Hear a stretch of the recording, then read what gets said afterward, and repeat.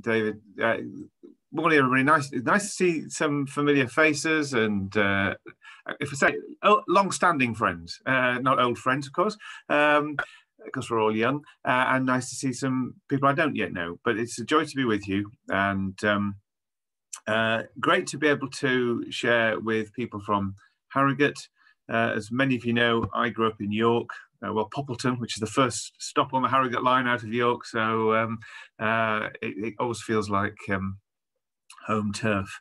Um, I'm going to try and share my screen. I will make these slides available at the end of the presentation, uh, such as they are, so that if people uh, want to have them for their own reference, then they've got them. Hopefully you can see that. Good. That's what we're thinking about today, uh, the equipping uh, of the saints. And I will be coming uh, uh, a little bit later on to that passage that we had read for us from Ephesians 4, but I want to begin uh, with a different uh, passage.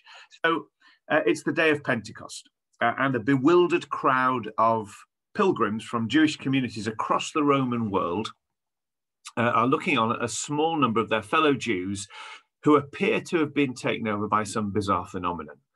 Uh, the only explanation for it must be that they've been at the wine in a big way. Uh, and despite the early hour, it's only nine o'clock in the morning, they're evidently seriously drunk. Um, in response to the murmurings of the crowd, the apparent leader of the group of drunks begins to explain what is actually happening. It, no, these people are not drunk, he says. It's far too early for that. What we're actually witnessing, says Peter, is the turning of the ages the beginning of the last days, the outpouring of God's Spirit. Now, I wonder if we had been uh, responsible for interpreting these events, the coming of the Spirit on that first day of Pentecost, which we'll celebrate again in just uh, a few weeks' time. I wonder if we might have drawn attention primarily to personal, individual experience of those who are recipients. We might talk about the infilling of the Spirit, the power of God coming, and it's perfectly legitimate to do so. We tend to focus on those kinds of, of things. People are now hastily going to be rewriting their Pentecost sermons.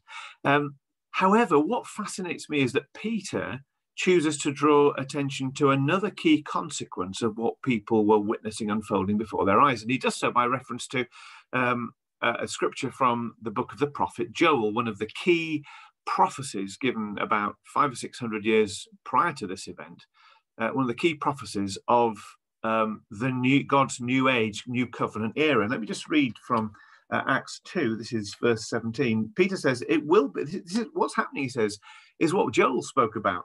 In the last days, God says, I'll pour my spirit out on all humankind. Your sons and daughters shall prophesy, your Young men shall see visions, and your old men dream dreams. Even on my bond slaves, men and women, in those days I'll pour my spirit, and they'll prophesy, and I'll grant wonders in the sky above, and signs on the earth below, and so on. It's a really fascinating thing. Peter, so Peter is effectively saying, look, what we're seeing here is the fulfillment of uh, prophecy. We are now in God's last days, the era between um, the uh, coming of Jesus, the, the, death, death and resurrection of Jesus, and um, uh, his ascension to the Father's side, and his return in glory. It's the era of the Spirit. Out, and what's happening in this era, which is absolutely distinctive, says Peter, is God's Spirit is now being poured out on all believers. So in the old dispensation, up until now, particular individuals have received God's Spirit, uh, special people uh, to equip them to do the work of God. The Spirit is poured out on prophets, on kings, on uh, religious leaders, and so on. And you know, we, we in the Old Testament era we have accounts of people saying, "The Spirit of the Lord came upon me." Uh, and of course, in the case of people like Saul, the first king of Israel, the Spirit of the Lord departs from him. It's a very provisional kind of thing. Particular people are given uh, an equipping from God to do a particular task for a particular season. What's different now, though, is that the Spirit is given without discrimination to all who put their trust in Jesus Christ. And even those who have previously been overlooked are now included in God's blessing. So it's fascinating to me that Peter draws attention to the fact that sons and daughters it weren't many of the daughters in the Old Testament era who were included in this. It was the exceptional one. Um, young and old, actually, of course, we today live in a, a, a society which seems to um, celebrate, even worship the cult of the young. Uh, the reverse was the case in, um, the Jewish culture, you were respected if you were old. Uh, the young tended to be the ones who would be overlooked. Well, in this new era, even the young get to play. Those who haven't sort of served their time, they get included. Jesus himself, of course, chooses a bunch which would probably have included a few teenagers uh, in his uh, band of uh, first followers. And what about the bond servants, those who have no rights, those who uh, are excluded from every uh, aspect of society? They too get to play. The Spirit is poured out on all these people. And this is the significant thing the functions previously reserved for the few are now entrusted to all, notably the ministry of making known God's word. The Spirit of God is given in the Old Testament uh, primarily so that people can speak on behalf of God. So the prophets uh, are called to uh, speak out for God, often reluctantly. Uh, the priests and the kings equally um, have a responsibility to minister God's word. Um, but it's the if you want to know what God has to say, you have to go to the anointed person, the special person. Um, and of course, one of the other prophecies that Peter doesn't mention here is from Jeremiah chapter 31 and verse 38, where God speaking through Jeremiah says, of course, in, the, in this era, people won't need to go to their neighbor saying, Know the Lord, for you will all know me. The Spirit will come uh, and uh, give us an inner witness, if you like, to God. Uh, God's word will be put in our hearts, and therefore we will all have the capacity to speak out. And, and in that Joel prophecy, we have young and old prophesying, dreaming dreams, engaging in the things which are at the heart of what is understood by ministry or leadership or responsibility, or call it what you will. Um, and we might sum- summarize it by saying that whereas the Old Testament celebrates the anointed individual, the New Testament celebrates the anointed community. Um, if the sort of the cry of the Old Testament is "Thus says the Lord," uh, maybe the characteristic in the New is that which is those words expressed by uh, the Apostle James in the Council of Jerusalem in Acts 15, where he says, It seems good to the Holy Spirit and to us. There's a sense in which the Spirit is given to all, and therefore the work of discerning what God says is the responsibility of all, and the work of speaking out for God is the responsibility of all. Now, this is all by way of, of, of reminding us that this is the reality that we inhabit. It means that um, in the new covenant, uh, although there is a place for, uh, as it were, leadership, leadership looks a little bit different. Um, so, whereas in the old covenant, um, the the leader did things, shall we say, uh, that others couldn't do, and for others, the leader in the new covenant is far more seen as a steward, stewarding the work of God's Spirit, enabling everybody to participate.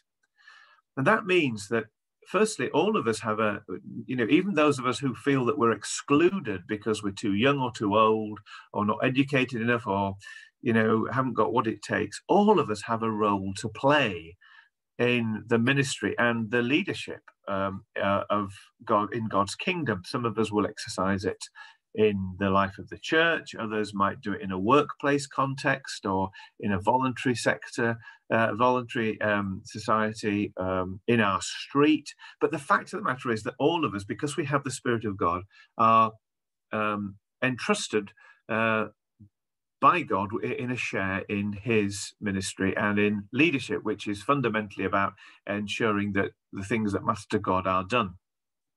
So if you came to this session thinking, well, it, will be interesting, but I'm not a leader, I want you to think again. Um, but I also want you to think about what we mean when we talk about leadership in the New Testament. What is the purpose of, of leadership or ministry? And it's not as it was in the Old Testament, you know, being a heroic individual, doing things that other people can't do. It's actually probably doing things in such a way that other people are equipped uh, to do what they are called to do. And we'll unpack this as we go along. So um, I suppose the Apostle Paul develops this idea here, articulates all these truths. Um, when he explains the nature of the church as being the body of Christ. I appreciate this is this is a mechanical image rather than an organic image here, but um, you know, in a sense, uh, in any um, organism or uh, organization, if you take one key cog out, then the whole thing falls apart. And that's really what's integral to Paul's understanding um, of the church as the body of Christ. We're all we all have a part to play. There are no passengers. There are no there are not special people who do things and others who have things done unto them. We all have a part to play. The Spirit uh, works in all of us, even if we feel that we're not very significant. Actually, Jesus makes us significant. One of my favorite scriptures, a total aside, but in Acts 4, you'll probably remember the story of Peter and John being arrested and being, because of healing a, a, a, a lame man and then preaching about Jesus, and they're hauled before the Jewish council, who tick them off seriously. And uh, Peter, of course, begins to preach to them and uh, Luke in Acts 4 has this lovely little um, uh, reflection. He says that, you know, the, the, the Jewish leaders were astonished because these were uneducated men. They were unqualified. They weren't, they didn't fit the bill, but they recognized them as having been with Jesus. When Jesus, by his Spirit, is involved in our lives, then those who are unqualified become qualified uh, and, and, fit and equipped to uh, play a full part in the life and ministry of God's kingdom. Which brings us neatly to um, uh, Ephesians 4. Um, this is where these truths are articulated at some length by the Apostle Paul. And uh, this probably helps us understand something of the, um, the, the calling of those who are called to be leaders. And I've suggested already that that probably includes most of us. Uh, all of us ha, ha, ha, are called to exercise influence in some way. We might, so, you know, we might be leading a church, we might be leading a home group, we might be leading a ministry area, we might just be um, leading a couple of people who have come to faith recently through an alpha course and we're we're trying to nurture them. That's leadership. That you know leadership is actually uh, deploying ourselves in such a way that we can bring the best out of others. That's really i think at the heart of leadership. That's what paul says here. And so paul says you know god gave some uh, and he appointed some to have particular uh, roles or ministries in the church not so that they would look special. People could think, phew, I'm glad we've got apostles and prophets because we don't need to do anything. Far from it. He gave some for the equipping of all the saints. So leadership, at whatever level it's exercised, is not, you know, if, if you're a small group leader in your church, the expectation is not that you provide for the needs of others, that you are such a great teacher or Bible study leader that people think, oh, I so love going to Ian's, you know, home group because we just get fed so rich. We, we, we we always come away with so much, you know, more knowledge and insight. So that's really not what um, a good home group leader does. A good home group leader, an effective one, may not be a great, you know, teacher or not, not be the, the, the sharpest sort of um, person, you know, in, in in the in the bunch, but he's really good at helping people grow in their own walk with God. So people come away thinking, wow, I've now got the confidence to speak to my neighbors about Jesus, or, uh, you know, I now understand a little more that uh, I get to play when it comes to praying for those who are sick or in need or whatever. You know, our task, whatever we're doing, the question should be, how can I deploy myself and take what God has given me so that I can bring the best out of others. I can grow others. So Paul says he, God, uh, um, Jesus gave some for the equipping of all, so that all could engage in the work of service. The body will be built up because the body is built up not when you've got a few, a small number of really capable, strong leaders, um, but rather when you've got a, a, a motivated workforce so that we can come to maturity. What does maturity consist of? It consists of the whole body of Christ, uh, every single member, young and old, um, uh, slave and free in Paul's context, uh, understanding their calling and, and using their gifts. And that's what the proper working of the whole body uh, looks like. And it's interesting, actually, that's probably why the New Testament writers uh, when they chose words to describe their leaders, um, picked on words which had something of um, that overtone, the overtone of uh, a focus on equipping others. So, you know, one of the words, again, uh, this is a Greek word, the word episkopos, which we often translate bishop, uh, but it means overseer. Uh, you know, we get our word episcopal uh, um, um, from uh, that root. Well, the episkopos was the leader of a household, one of whose responsibilities was to make sure that everybody in the household um, was fed, thrived, flourished, reached their own full sort of you know uh, mature place as a as, a as a human being. And it's interesting isn't it that that's the kind of um, so whereas in the old testament many of the words used for leaders like priests for example tended to focus on the unique function of that person these are not words that the new testament writers use they're words they use are very much words which focus on bringing the best out of others or, or enabling others to thrive. Um, they, they're very much um, uh, devoid of any sort of sense of uh, having a, a, particular status or, or, whatever.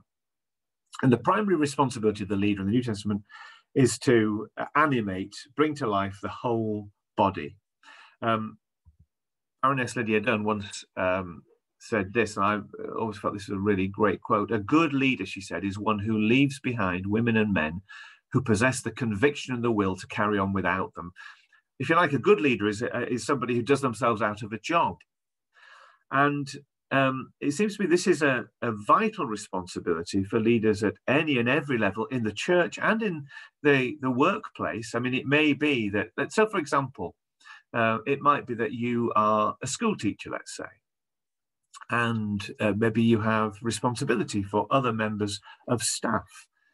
And there are two ways of approaching that responsibility. One is to think I'm going to jolly well impress them with how good I am, uh, and uh, you know uh, provoke them to jealousy because I'm I've got sparkier teaching materials than them. Or you can think, gosh, you know, I've learned a little bit about teaching, but I can see the potential in these young teachers coming through. Wouldn't it be great if I could pass on my experience to them in such a way that they become better teachers than me, because that improves the educational experience of children going forward?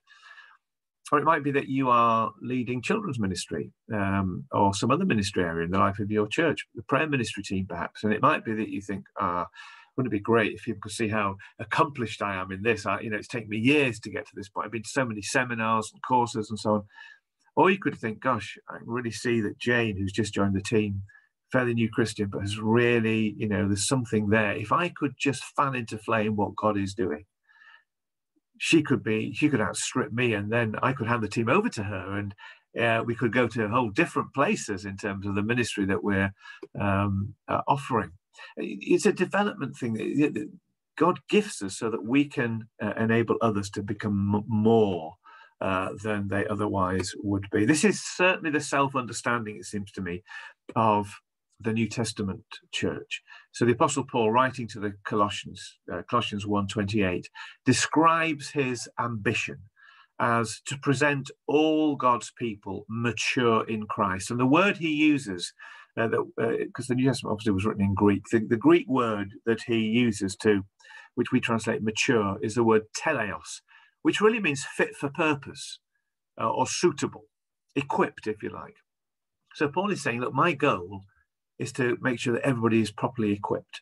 And so, a good question for us, whatever our level of experience, responsibility, whether it's formal or informal, is to say, so how can I play my part in growing others? How can I enable others to become more equipped to engage more fully in all that God has for them? So, those are some what you might call theological reasons why it makes sense, um, whoever we are, wherever we find ourselves, to invest uh, in others. But I'm thinking there might be some practical reasons too. Um, and I thought it'd be good to go into small groups for 10 minutes just to reflect on this question. Um, what might be some of the most compelling practical reasons for giving time and attention to the work of growing and developing others? Okay, uh, I've given you the theological, spiritual reasons, but um, think of your own experience of what the difference might be between, let's say, a leader or people with responsibility just doing things for people or growing others. What might be some of the most compelling practical reasons for doing, for engaging in this, for seeing our task as growing others? I'm going to stop share, and I think Linda's going to put us into groups for 10 minutes. Came out in your group uh, so that others can benefit from them. For those who can't be bothered to type or don't like chat, you know, uh, you might. It'd be great just to hear just two or three things. What, what what did you come up with in terms of what might be some of the most compelling, practical reasons for giving time and attention to the work of growing and developing others? Who wants to um, just unmute, mute yourself and uh, pitch in, or as I say, post in chat? Anybody want to tell us something that came out of their group? Yeah, I can share something in if that's helpful. Cheers, Mike. Nice to see you, by the way. Welcome to the North. yeah, thank you very much. Um, one of the things about uh, that's very compelling and practical is um, I, as a leader, I'm very aware of my um, limitations, uh, and seeing people around who are far more gifted uh, and able uh, is it, it becomes very compelling to release them into their gifts and their abilities so that they can help uh, the body of Christ uh, in ways that I could only dream of doing. Mm. But as they do that, it also helps me to grow as well. Uh, yeah.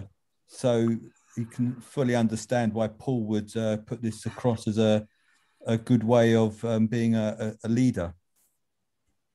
That's really helpful. I mean, we're just picking up one thing there, Mike, about limitations. I mean, that's the, the, the fact of the matter that most churches or organizations or workplaces uh, if you have a leader who doesn't recognize their limitations, then those limitations become the thing that hold you back.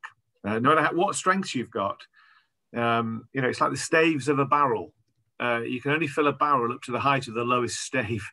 Uh, and um, so, actually, if we can find other people who are better than us in those key areas, then you've got a chance of fruitfulness. And some great stuff coming in on the chat, by the way.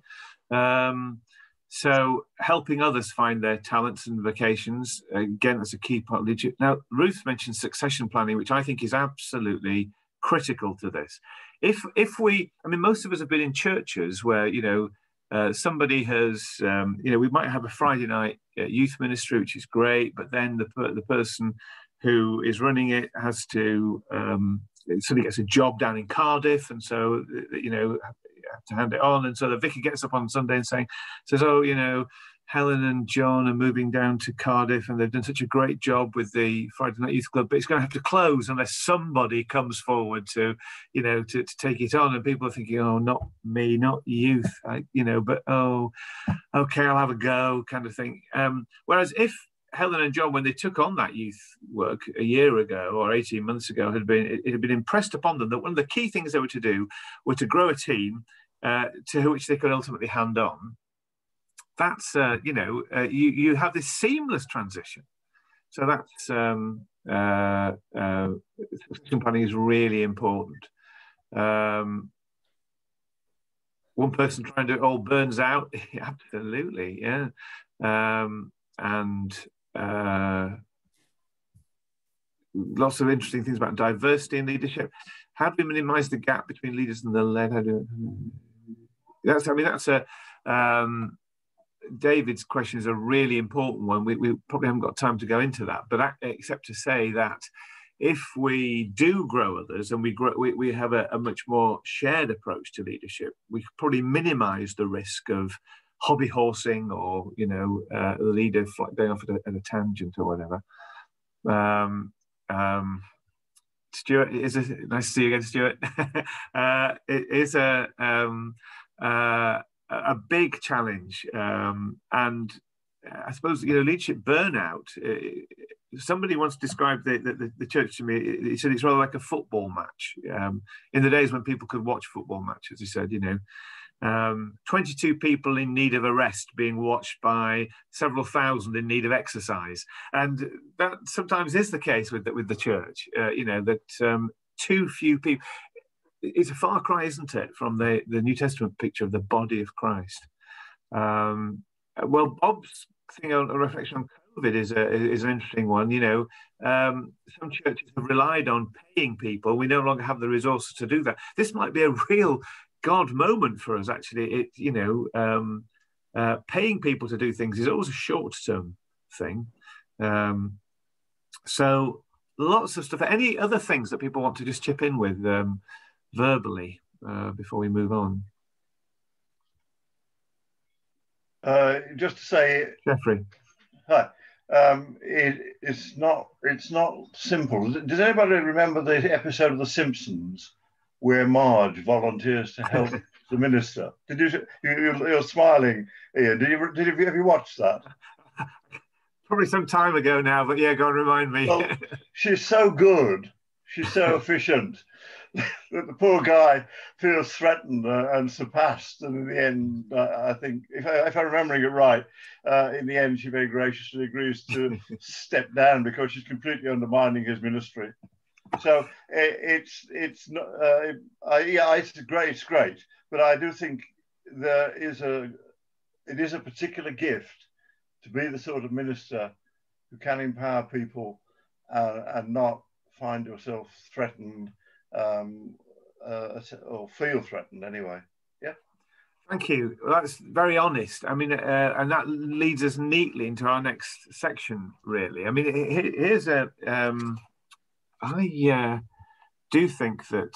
Um, well, we're going to think in a minute. Uh, well, let's think now. Uh, I'm going. We're going to. I'm going to screen share again.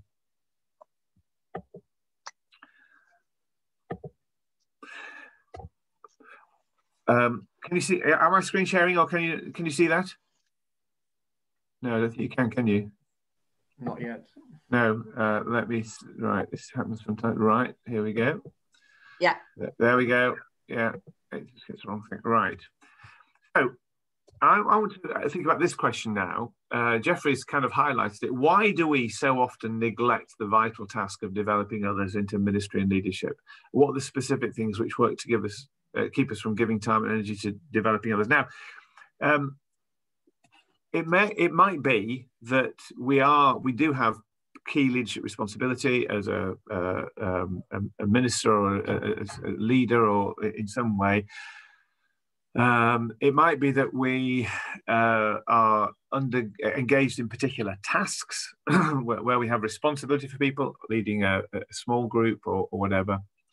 It might be that we don't really have any of those formal tasks, in, in, in, which case we might just want to reflect on the practice of others, especially the practice in our own local church.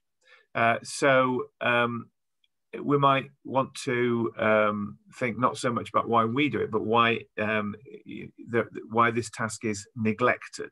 And what we're going to do is we're going to uh, have a little poll. Uh, so I'm going to stop sharing. I'll stop sharing my screen, and um, Linda's going to launch a poll.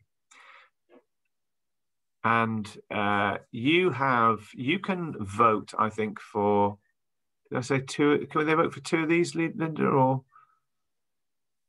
three? I could only set it so that either you could you could multiple choice as many as you like or one. Okay.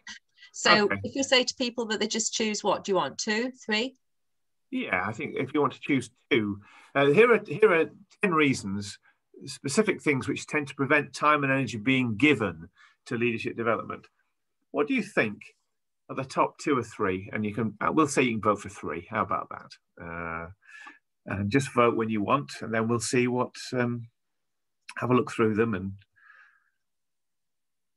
uh, we've got some votes coming in now.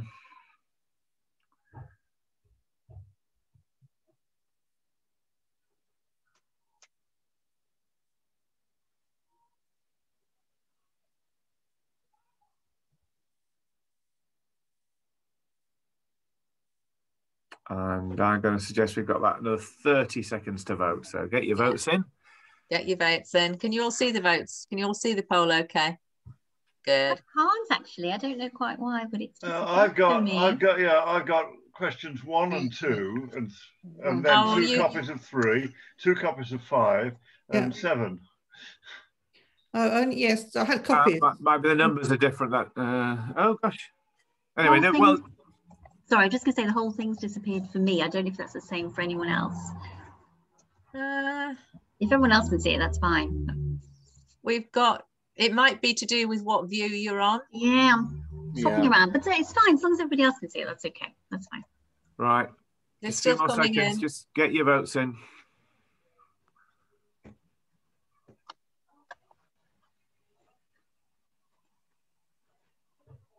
Okay. Oh, they're coming in thick and fast Yeah, now. we're Ian. going there. Yes, that's right. Yes.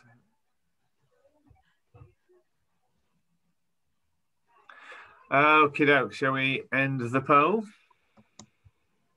Okay, are we going to publish it? Yeah, the results. All right.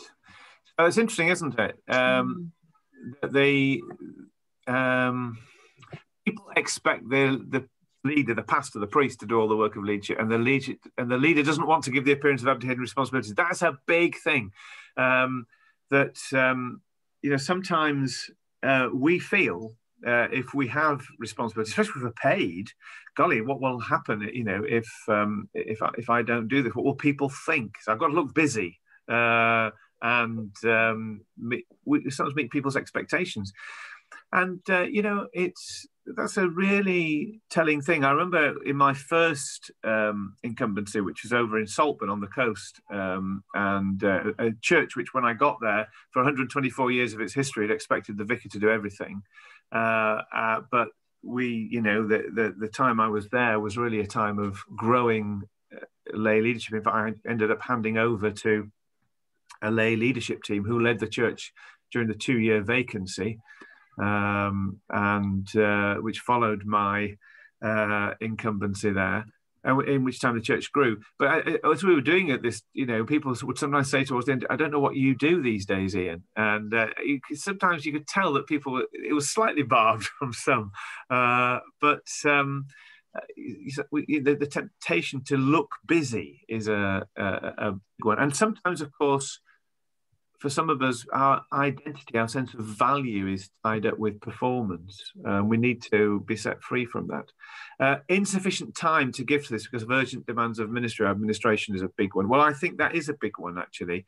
Uh, you know, we will focus on growing others when, when the quieter day comes, but the quieter day never comes. And actually, the only way we can actually uh, enable a quieter day to come is to is to hand things on to grow people to to do things a shortage of potential leaders yeah that uh, people are often in, in this day and age more time poor than they used to be or um, many churches i mean my role in the diocese of sheffield is um, very much focused on growing others in uh, and releasing others in leadership and ministry and helping clergy transition to a different way of operating um, but I go to some churches, and you know, I think they've almost missed the boat in terms of uh, the available talent pool now. Uh, you look around and think, I'm not sure, you know, who could be raised up here. Um, but then I go back to Acts 2 and I realize that, you know, um, God gives gifts to everybody, irrespective of our age, background, uh, experience. Rowan Williams uh, once memorably said something like this. It's slightly paraphrased this, but he said, We need to uh, hold on to the uh, conviction that God gives to the church everything the church needs to be the church and to do the things the church is called to do. I.e., you know, we may not have very much, but we have to believe that God gives us what we need uh, and calls people to do what needs to be done. So that's really interesting, isn't it? It's interesting reflecting on these because. Um, um, uh, sorry, I'm just.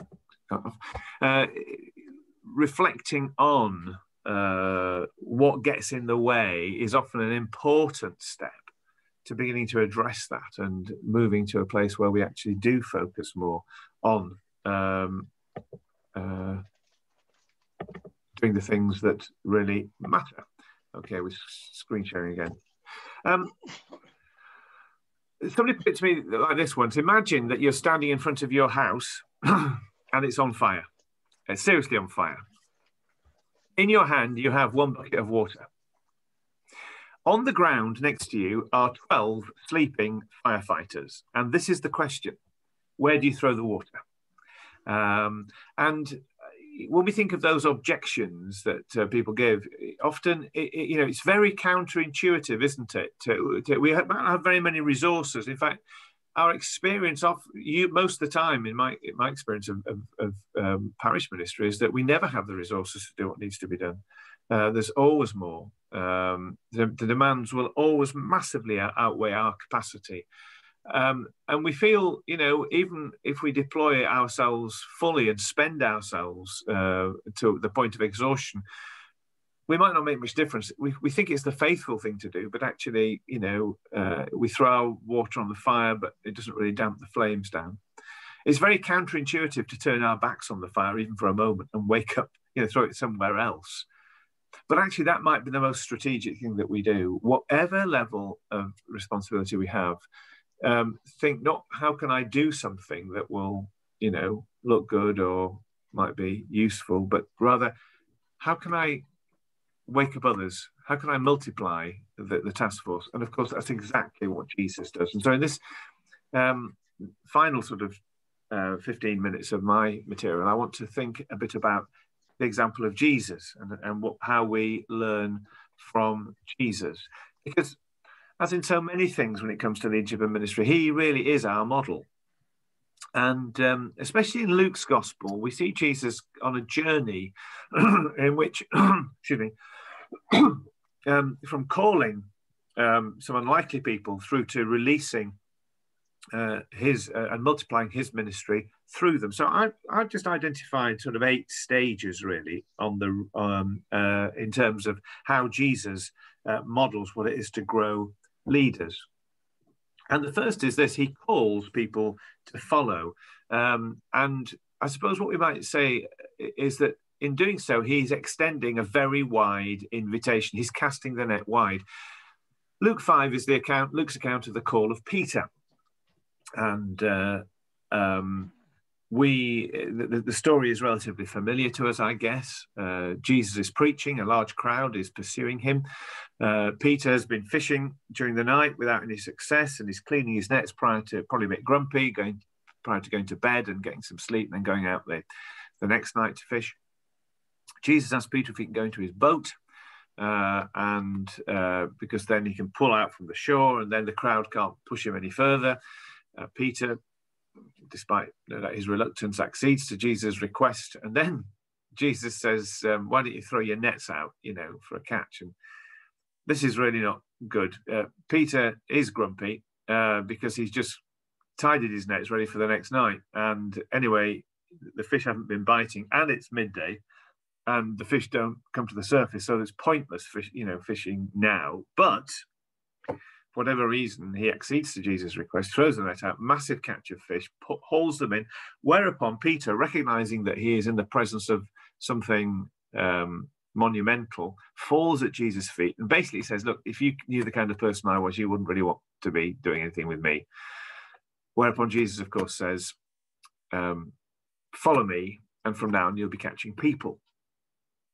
Um, now, we know the end of Peter's story, and we tend to interpret the beginning in the light of the end, but I'm not sure it was quite so cut and dried. Uh, at this stage in Jesus' ministry, he is extending uh, a wide invitation to a lot of people, just drawing a crowd. In fact, there's a big crowd following him. One of the ironies of this story for me is that there's a crowd of really keen people who are pursuing Jesus, and Peter's not in that crowd. Uh, he's a practical man, he's a fisherman, he's doing his job, he's sitting cleaning his nets.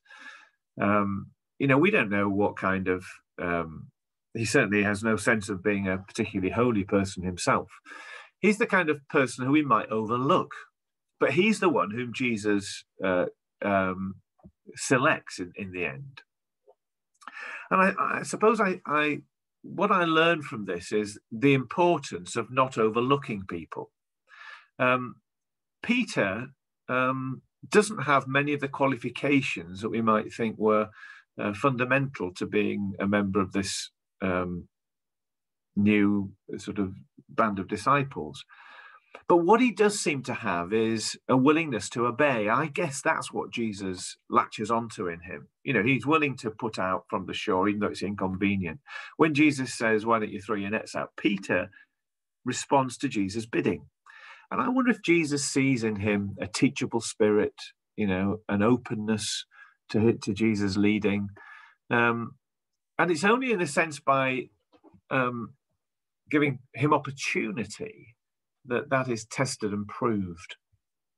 And I suppose I've tried to learn from that in my own experience that um, I have my own expectations, perhaps, of what people might look like who might take on responsibility. But I need to extend the invitation widely to give everybody an opportunity to step up, uh, to prove themselves. That's what Jesus does. But the second thing that Jesus does is he gives people a vision for what they might become. Follow me, he says to Peter, and from now on, you'll be catching people. One of the key things we can do as those who are involved in the lives of others at whatever level is enable them to see what God might be doing in them. Um, I remember in uh, my last uh, church, one of the first things I wanted to do, uh, because again, I, I, went with the conviction that I needed to do myself out of a job and grow ministry in others. And but one of the first things I wanted to do was to establish a team who would take responsibility for the baptism ministry. Um, you know, we had families, largely unchurched families, coming asking about baptism, and we did baptism preparation with them. It was a sort of introduction to the Christian faith, and so we wanted to build relationship, and it was quite a fruitful ministry ultimately. But I, I knew that although it relied on the clergy up to that point, we needed to get a team. This was an area of ministry that could be devolved. So I began to put a team together. One of the people I asked was somebody who was a helper in our church nursery, a member of the church, uh, somebody without much self confidence and probably uh, didn't have. Other people hadn't really uh, expressed much confidence in this person either. And when I asked her if she would be part of the team, she, she said, "Why on earth would you ask me?" uh, so I said, "Well, because I think you have the gift of an evangelist." And she said, What on earth do you mean? And I said, Well, whenever we have a, any invitation event at church, you bring people. It's, you know, from talking to you, every time you catch a bus, it seems to me, the person you sit next to, you end up sharing your faith with them. And so she said, Well, doesn't everybody do that? Uh, so I said, Well, no, but you do. And anyway, so she became part of the team. Brilliant, uh, outstanding member, just great at getting alongside people. Um, and I was able to to talk to her about what I saw in her that she didn't see and hadn't been called out. One of the key things we can do is to enable people to see, because they might not see it, but we might, what God is doing in them, what gifts God is giving them. And not just what he's doing already, but what God might do with them.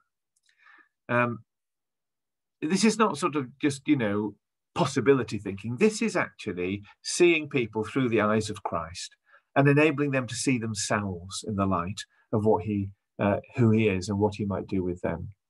And then, of course, Jesus prays for wisdom in selecting those in whom to invest. So in Luke 6, he goes up on a, mountain for a night uh, and asks the Father who are the who should be the 12 that he would journey with particularly. Uh, and um, we might not spend a whole night praying over this, but it's a good thing to do. Maybe, you know, we are responsible for uh, a ministry area uh, or a home group or a, a, department in a school or whatever it might be. Um, you know, it might be worth saying to the Lord, uh, is there a particular person whom you would like me to spend time uh, over the next months passing on to them what you have passed on to me? Who are those whom I might grow in such a way that they might outstrip me uh, and um, who might run with the stuff that uh, you've given to me that I can then pass on to them. It's exactly what Jesus does. And then, of course, Jesus shares his life with them. Part of growing people is as simple as this helping other people see, for example, how we deal with conflict situations, how we respond when the chips are down, um, how we order our own personal life and our walk with God. Um, and that often comes about by just you know maybe going for a walk with somebody and ask them how they're doing or ask them how their prayer life is or whatever it might be.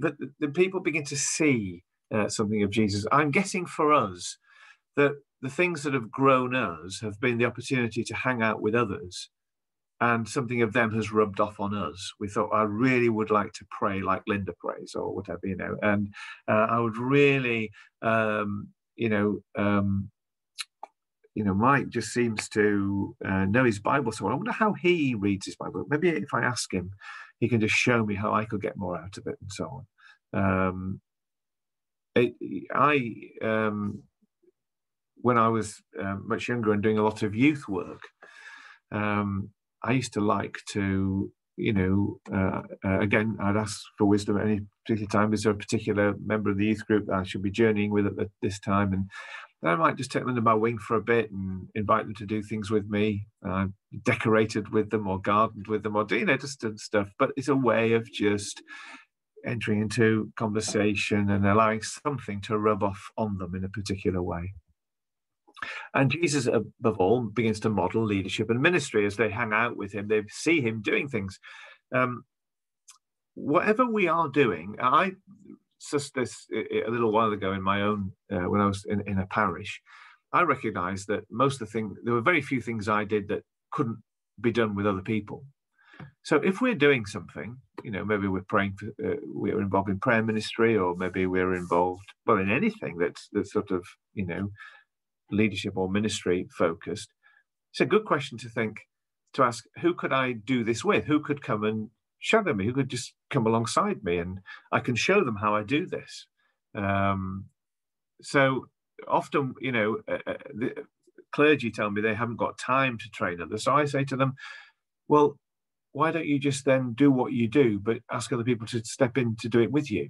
Uh, so they can see what you're doing. That use your ministry as a, a, a, learning opportunity, so that people can, you know, different people can see different things.